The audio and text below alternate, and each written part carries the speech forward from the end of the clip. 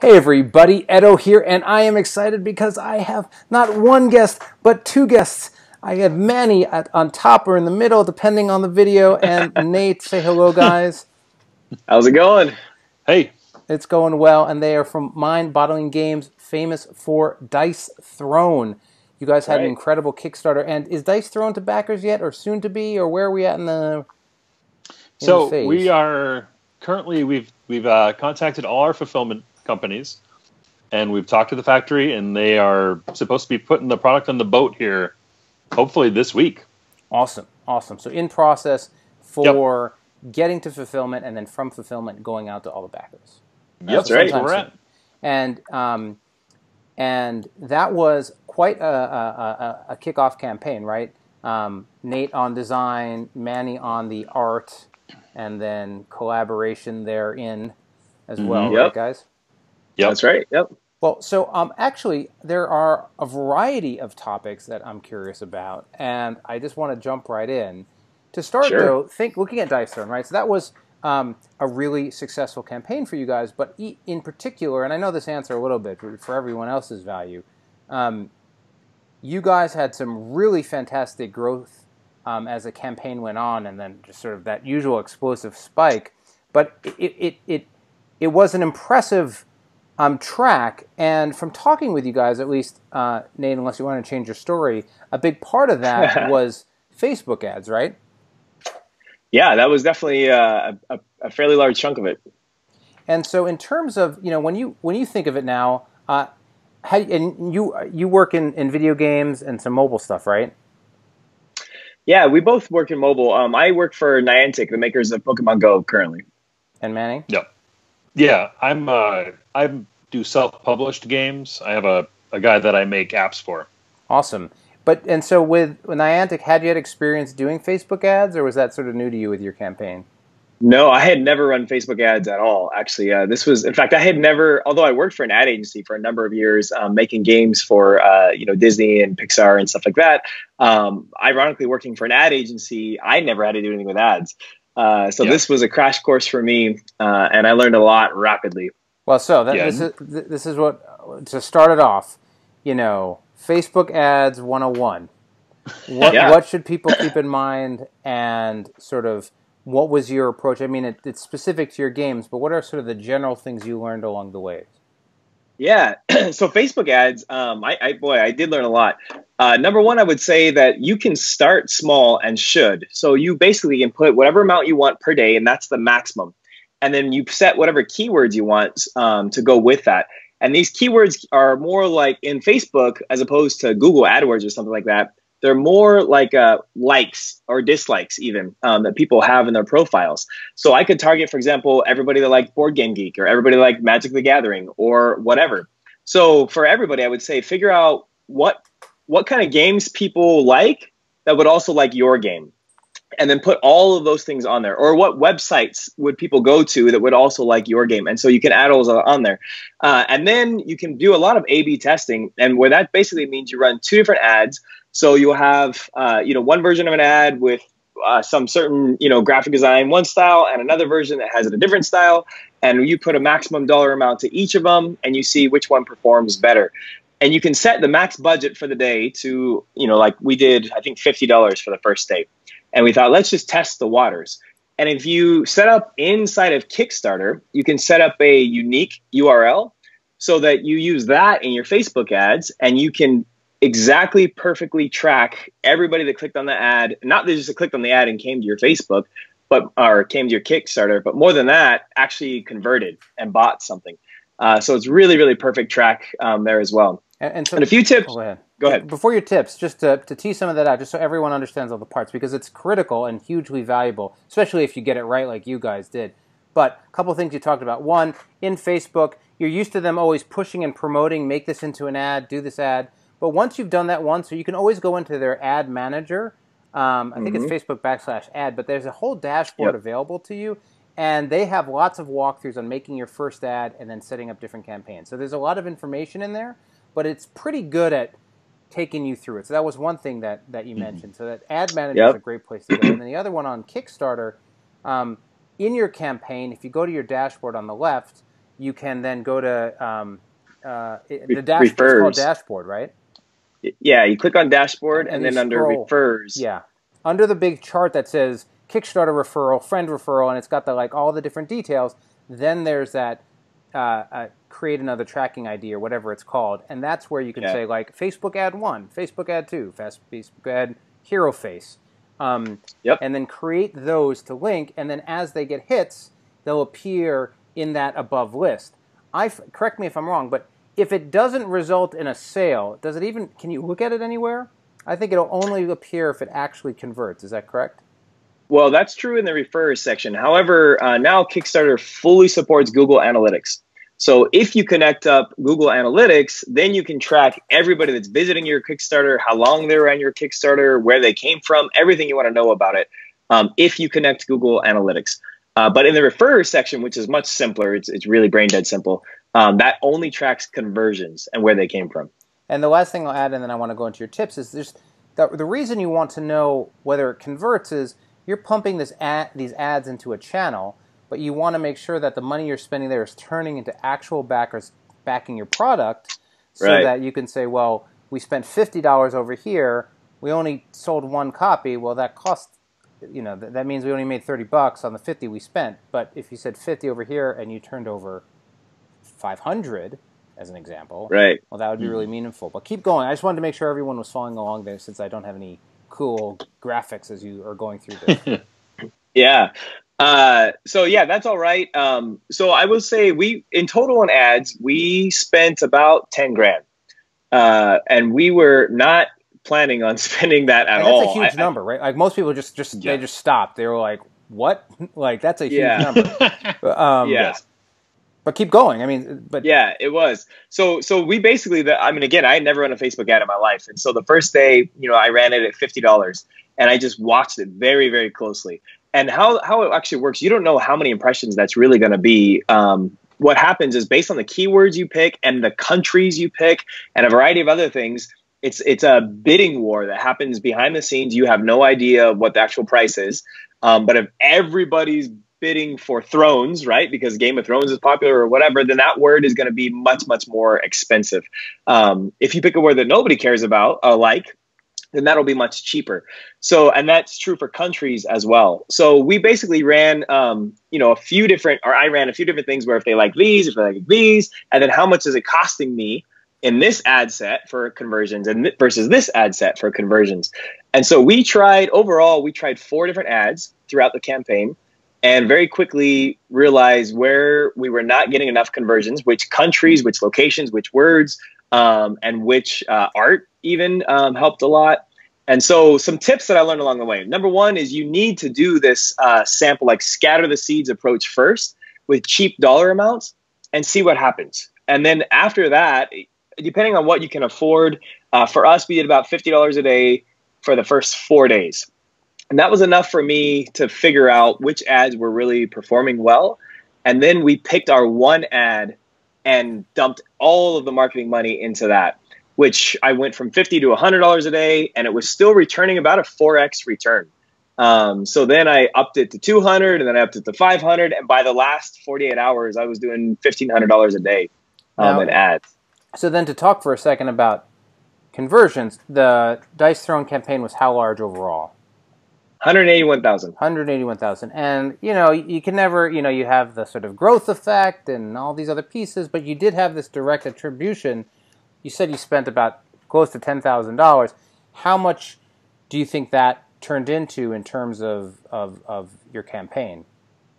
So we had, um, I can say that directly from ads, we had 36 grand in return and we spent a grand total of actually it was 9200 in total in ads um, now that's just measurable conversions right. but there's a lot of immeasurable conversions right because sure. kickstarter is all about the snowball effect well, yeah, you're blowing through people are sure. seeing it it's popping up they're like why is this thing doing so well and and I, you know, I think it's really my my background, or at least for a while, I was working at Disney uh, Interactive, and, and we were doing mobile and Facebook uh, uh, games, and so we are constantly doing that A/B testing, and to some degree, that scattershot approach is just this idea that, frankly, you might have some intuition or a guess, but just let the market tell you what's going to work because you can yeah. do all this A/B testing. Um, yep. but you know, if you can just funnel into this stuff, it can it can have a really a really big return. I think that again, people sort of think of doing Facebook ads. They throw twenty dollars at it, see something, and they walk away. I know it does. There is certainly campaigns, in my opinion, that may or not be as effective or conducive to to, Agreed. to Facebook ads. I mean, I look at Dice Throne in particular, super cool looking, really easy to understand mechanics, sort of great entry into gaming type of game. So I think it was Yeah. a really nice sweet spot for that that you leveraged. I think it's a other people can be successful too, but you're going to have to pick some amount of money to try, and then see if it's Right. worth following up with, right? Right. There- Yeah, There's an I- interesting story there. We the first piece of art. Uh, this this shows a little of the the fact that we didn't know exactly what we were doing. Right. We were at the hotel at PAX South, and we were like, "Hey, we should. What art should we use?" And we're like, "Maybe we should use a box. Maybe we. I don't know." And we're like, "Hey, the Pyromancer looks cool," and so we. sorry. they we were like, well, she's a she's a pyromancer, and it's a really bright piece of art. So let's try that.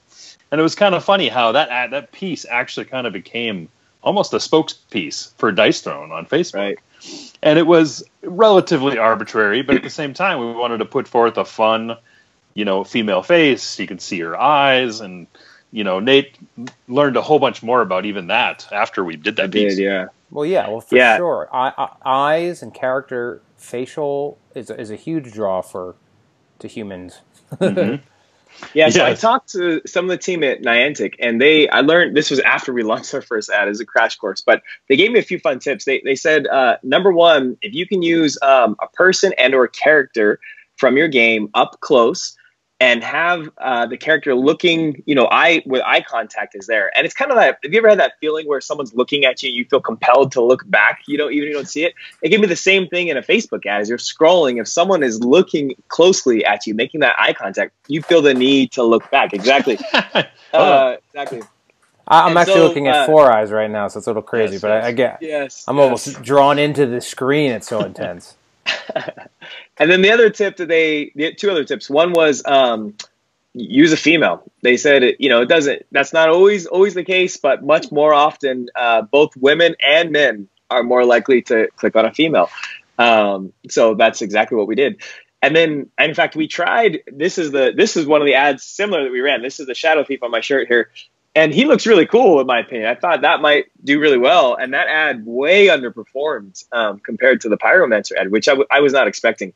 Um, so there must be something to that. And then uh, the last thing is there's so much noise on Facebook. I mean, people are just scrolling rapidly right through that stuff. So you have to figure out how do I grab their attention as they're scrolling.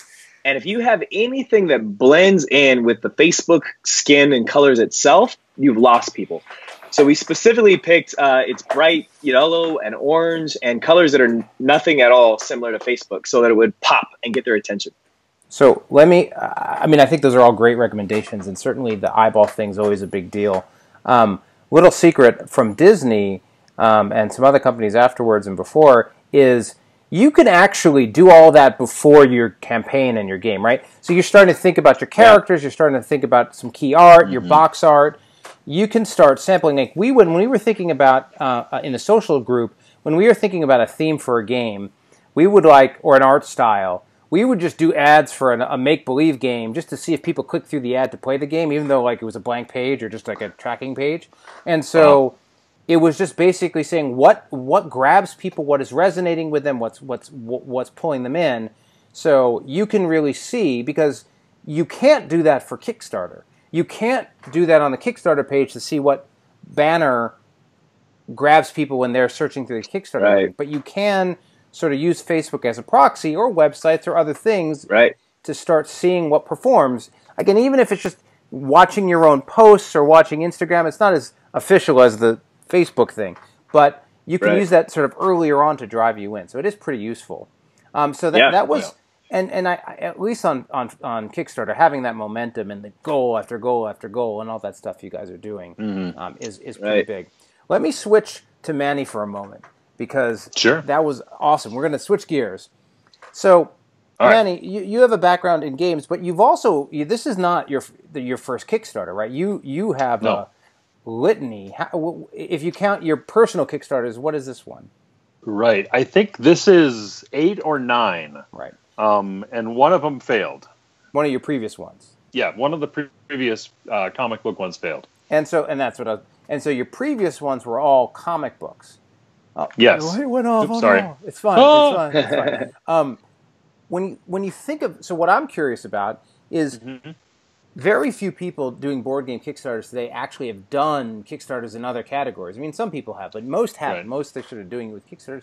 You know, can you just talk about what it's what doing a Kickstarter for comic books like, and how they're different, and whether anything was transferable or not, or Yeah, there's the the comic book community is very different than the board game community. And it's probably most notable if I were to take a step outside Kickstarter. If you go to like a comic convention versus a gaming convention, gamers seem to be incredibly social.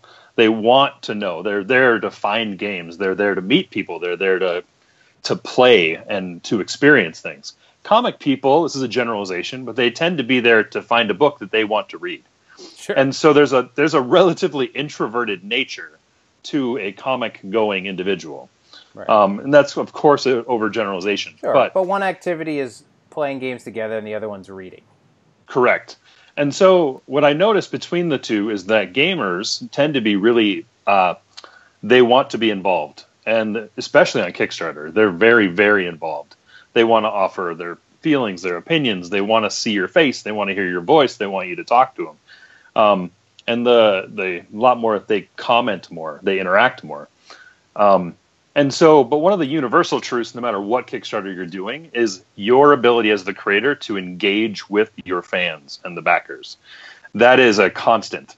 You need to be in there. You need to talk to them. You need to hear listen gain take information from people and then implement it.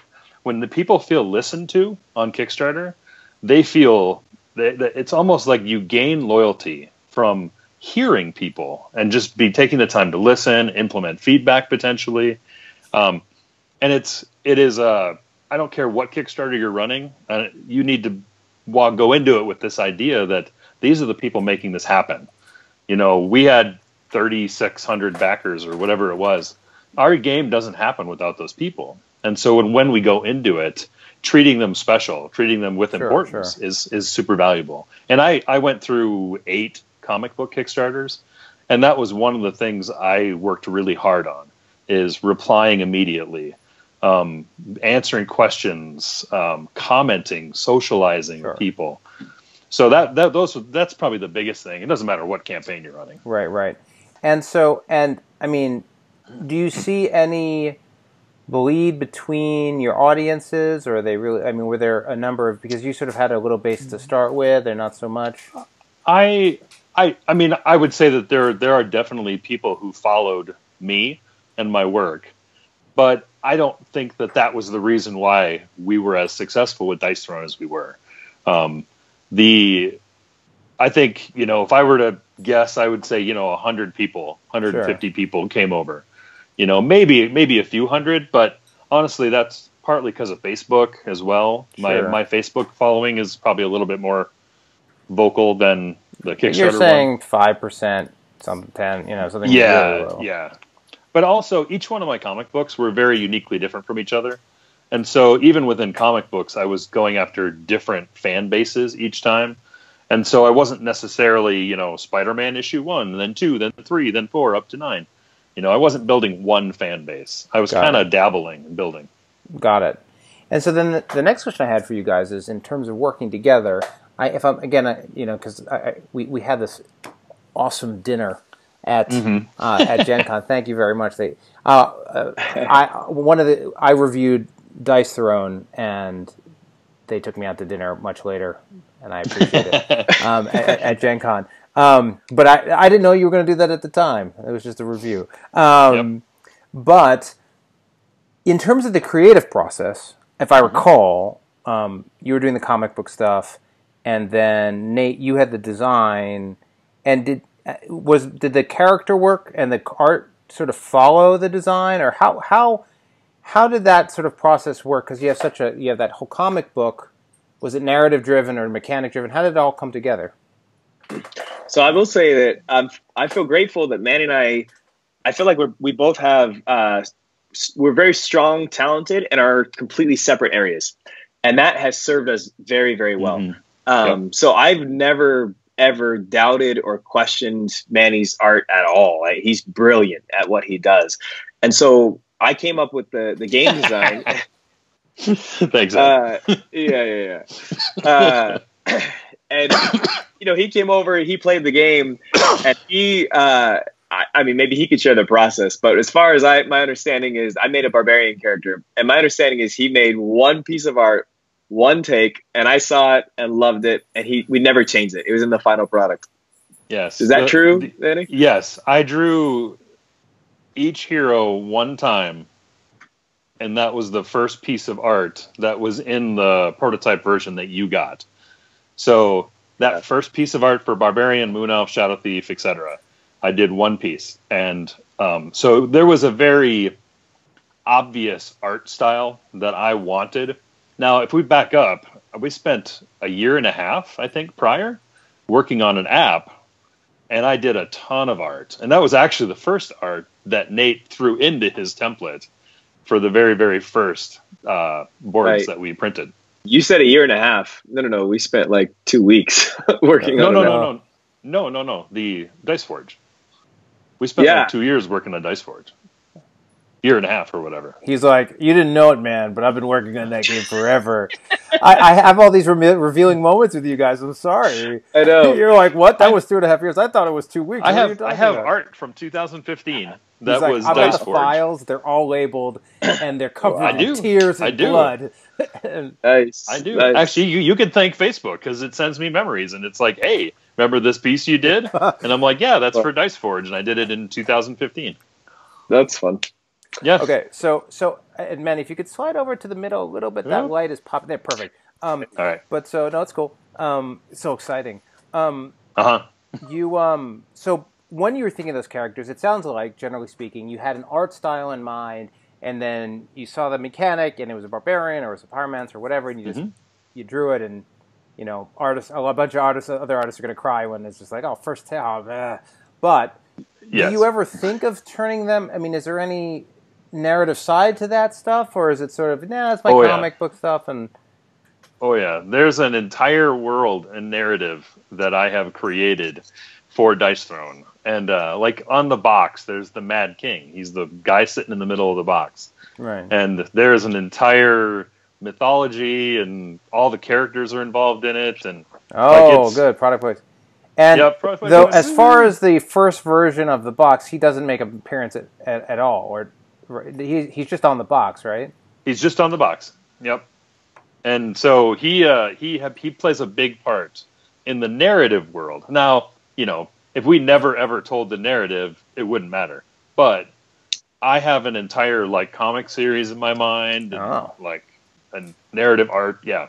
very cool So I will say though that none of the nar- well, that's not true to say none of it, but there was like two sentences of narrative on our Kickstarter. Um, so we haven't revealed really any of the narrative yet, but there will be a, a freely downloadable digital comic book, or you can you know buy a, a hard copy. Um, but that's actually already in the rule book. Um, in fact, it's comic.dicethrone.com, and right now it's this landing page that says coming soon. Um, what's but going on so we'll- manny come on manny 'Cause- it's 'cause not I'm not nate done yet. it's not nate it's you what's going on man I'm just not done yet. Cool. Well, so and that, that actually led me to the, the, the third thing I wanted to talk to you guys about. And you sort of talked a little bit about this, Nate, in terms of your skills and what you're good at and, and what Manny's good at. But, you know, um, I interview a lot of creators, and they're oftentimes, um, you know, they're all different ensembles of teams and people working on, but usually they're sort of, you guys seem pretty, pretty hand in hand partners, is my impression, and from talking. And so, you know, in terms of that partnership and people who are working with their friends or people they've worked in their or colleagues, like I can't I can't record you guys separately and not tell the other the answer. But you know, what what do you think are some of the key things that have helped you guys be successful in in, in growing and, and building together, but also not, you know, imploding at the same time. Like, what are what are some of the things that that help? All you right, I'm out? sharing first. I'm sharing first. All right, all right, all right. All right. So honestly, the, the biggest thing is that Nate and I have a high high level of respect for each other and what we Yeah. do. I know that when it comes to game balance and game mechanics, that Nate has a mind for it and a perspective on it that I do not have, and I know that, and I'm I embrace it and I'm excited by the fact. Oops, my light keeps dimming. Um, and I and I embrace it. And the flip is also true. Nate looks at the art, the design, and the aesthetic, and says, "Manny has this. He's going to do it. It's done." Um, and then when it comes to game balance, we both bring broken things to the table. Like I bring broken heroes. Like I'll go off and I'll literally vomit up a hero and be like, Yeah. "All right, I made a hero. Let's. I here you go, Nate. It's broken. Fix it." And he's like, "Yeah, sweet." So when it comes to game balance and play testing, we we're basically a 50-50 on all of that. yeah. So Yeah, I would. Would. Sorry, were you still going? go go. I would totally agree with all of that. I, I think uh, it also helps that I mean, Manny and I have just had a friendship for I don't know a decade or so now, and um, that is that has also very much helped. And we both can uh, we can fight no problem and and walk away still great friends, right? We don't hold on to anything, whatever. And and sometimes we actually will purposely start a fight because I think the product benefits from it. Mhm. And so even if we agree, sometimes I'll say, "All right, Manny, you're devil's advocate on this." Or vice versa, right? And we'll we'll staunchly take the other point of view. Why shouldn't we do this? And we'll we'll just clash on purpose um, to see, you know, what what the end product is. Or we'll clash Yeah. at dinner. Yeah, well, he what, what, what, what clash at dinner? That was great. I, I wasn't even going to bring that up, but No. the funny thing is, he's perfected it so that when you were giving your wonderful answer, your camera completely froze. Oh, Um, is my camera frozen? You, you, all the audio came through. Could you just try hitting like video, no video, quickly?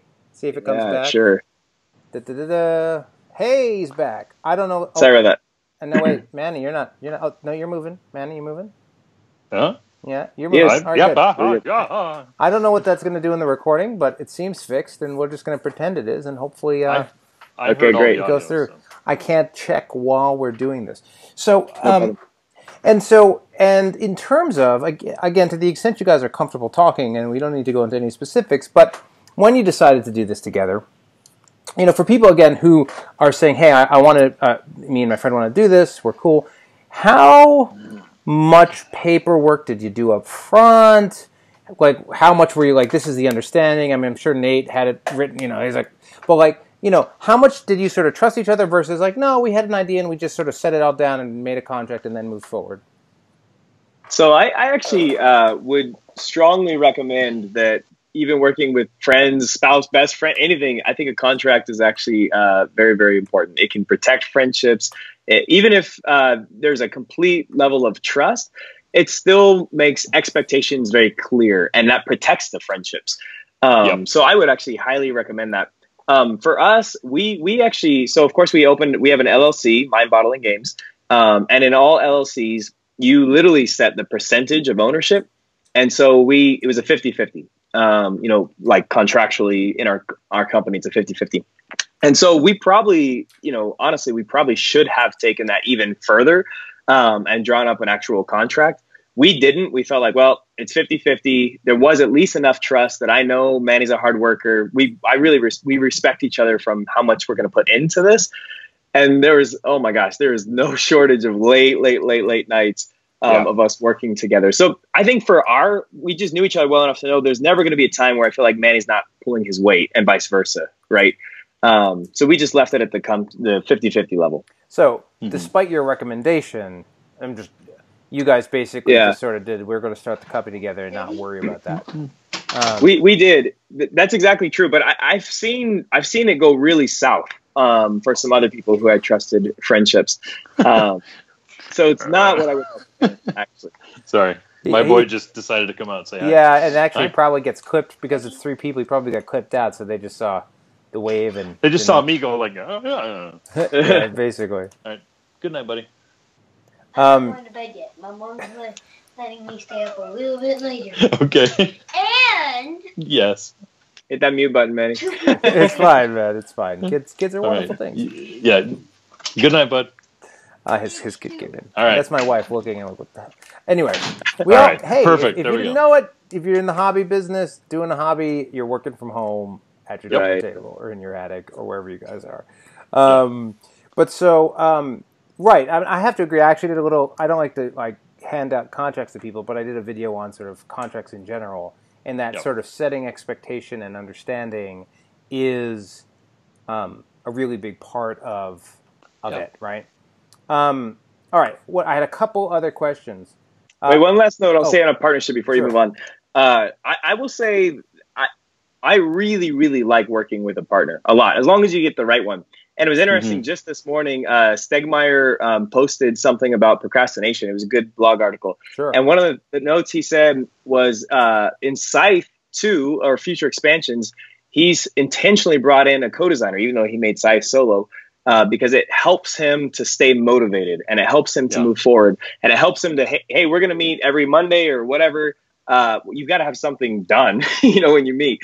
Uh, so having that, I think having Manny is we've produced the time frame on this was ridiculously fast, and that would not have happened if either of us were were solo. right. Right. Yeah. No. Work, uh, working with people is great. I mean, that's that's um, and and just having the right level of trust and understanding together is a, is a big deal. Um, you know, it's funny. I saw his procrastination post as well, and I was like, eh, I'm not going to read this. Um, but good show. uh, good show. Yeah, yeah, you know, I, I, I was there at one point. Um, Yeah. So, okay, so a couple other questions uh, as we're co- coming to the, the time here. So, one question was Gen Con. You were at Gen Con, you had the opportunity to work out of the Roxley booth. Was that your first Gen Con, or had either of you been to that convention before? Yeah, that was our No. first Gen Con. Uh, Yeah. Neither of us have been. In fact, I mean, really, it's kind of funny. We both our background is digital, and so not only we had a crash course in, in Facebook ads and everything else, but we've had a, a crash course in working in this industry. Um, you know, we've been consumers of this industry, but I've never been to a, a board game con ever in my life. Right. Uh, prior to we applied for the the PAX South Indie Showcase, we got in, and that was the first That's right. That's right. board game related con I had ever been Yep. to. Yep. And that and that one's really that one's mostly a video game con, right? They have that Yeah, area is. where you guys are sitting, is, yeah. and then they have a huge library. But otherwise, it, th- there's big screen TVs. I mean, the thing Yeah. that'll get you at a Yeah. board game con still is that like there's almost no TVs, right? Like Right. there's no Right. blaring noise, and and even a comic convention I'll still have like guys selling the T-shirts that strobe with music, and you're just like, oh Yeah. Um, Yep. but um, and so now you guys were in a unique position because you were sharing a booth and you're sharing a booth. We're not sharing my. You were using a portion of a booth, um, but Yeah. with one of the juggernauts uh, from Kickstarter and, and in the industry right now, which was Roxley. So that's not going to be. Not everyone's going to have that, but um, No. generally though, I mean, if there was a key takeaway or two once you got over the newness of it all, um, what a- a- as again new creators with a Kickstarter that hadn't hasn't hadn't fulfilled yet, what were a couple of your takeaways from being at the convention? Um, You or me, Manny? go for it. Okay, so I, I think one of the things was I've we've never sold product at a convention before, uh, and so being at PAX South, you know, we were we had a Kickstarter running, um, so I guess in a way we're selling something, right? We were trying to push people to Kickstarter, but we've never sold physical product, and so I learned so much about how to hide product to put uh, advertising above it. Uh, we got a Square reader and running those transactions, learning how to do that efficiently. Um, there there was so much I learned, and so. I I would say if you're thinking about running a Kickstarter in the future and you want to or sell your own product in the future, volunteer at someone else's booth. Uh, contact anyone you want and say, "Hey, can I go there? Can I help you run your booth?" Just to learn from what that's like. and just to clarify for your own safety and sake, what you're talking about learning from was selling Roxley stuff, right?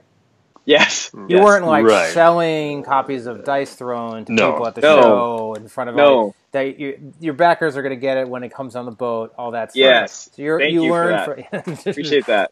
Yes. Um, but no, Selling I Roxley mean, product. but yeah, I mean, I think I think that's a great a great idea, right? Hey, e- everyone's always looking for help at booths, and you can get a hotel room or badge for the show, get in early. I mean, there's cool things you can do, but just hmm that free opportunity to trial run work in a booth is, is a big deal. Yeah, it was Yeah. great for us.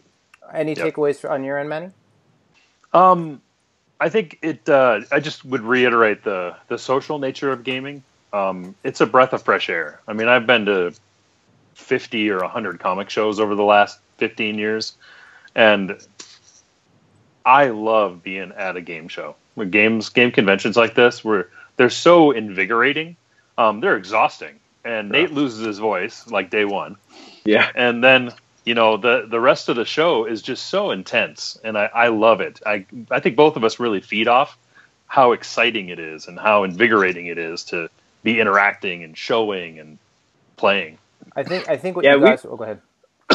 we we would one of the things we would do, and we did this at both shows, and this is just a good tip in conventions in general. If you have the stamina to do it, and thankfully Mm. Manny and I both get energized by this. But after the show ended, um, and all the shows we've been to, and we'll do this in the future as well, uh, we'd go to either if there's a, a play area in the convention, or if not, in a hotel lobby or whatever. But we'd set up with people. We'd announce on our Facebook and Twitter, and people would stop by our booth. Hey, we're going to be playing games, and we'd we'd play Dice Throne all night, you know, until we'd close out whatever, you know, all night long.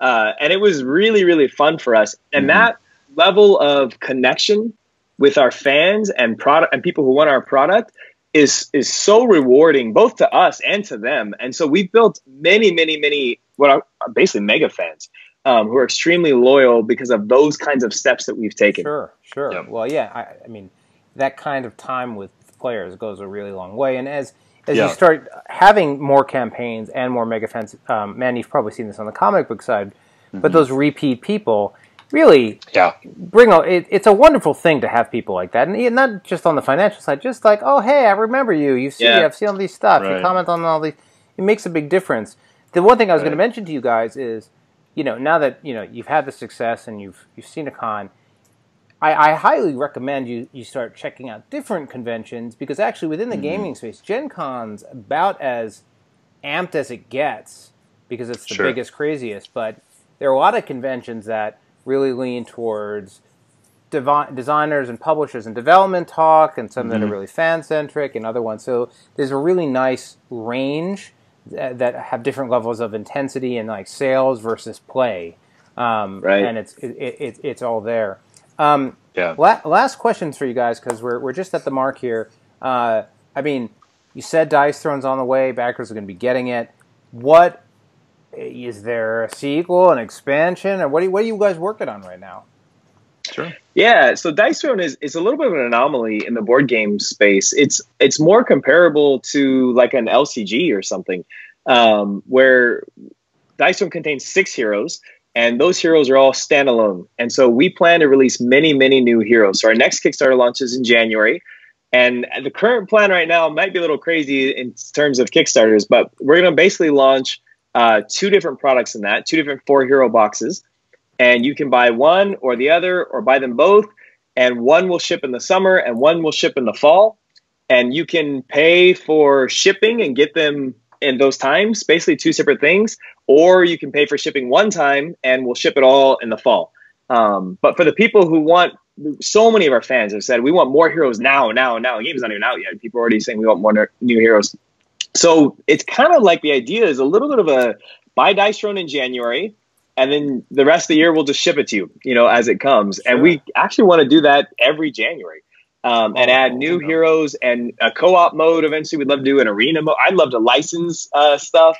Uh, so you know, we'll, we'll see what happens with that in the future. Well, it's. I mean, it sounds. I mean, you know, you might want to add a third tier, which is just the lifelong subscription tier, right? That's just sort right? of going big, Yeah. and you'll get one as, every Right. time as you go. So cool. Yeah. So and you're going to get more characters, and presumably, a character is the character, the dice, their their health track, and sort of a nice Yeah. little package. yep. By the way, I, I I had the opportunity when I saw you at at, at Gen Con to see the and I, I would have you posted pictures of your box to your backers yet, or is that is that new and coming in your updates? The Yeah. box. Yeah, They the said we box. inside the the, Mhm.